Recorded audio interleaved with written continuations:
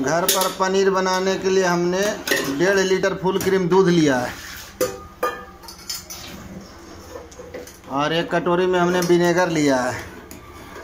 जब दूध में उबाल आ जाए, तब इसमें एक चम्मच विनेगर डालेंगे।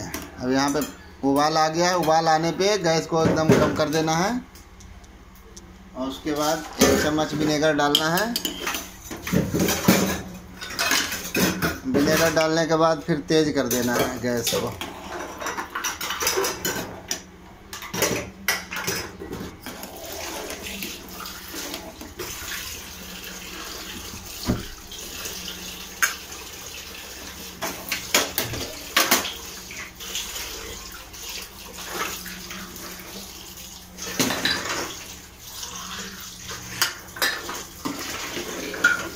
अब इसे चलाते रहेंगे।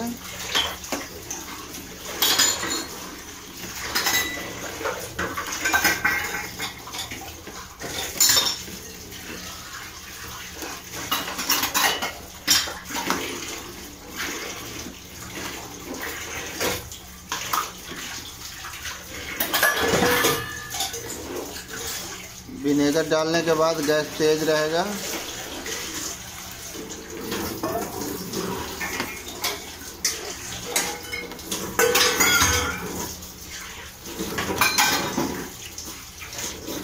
थोड़ी देर बाद थोड़ी विनेगर और डाल देंगे।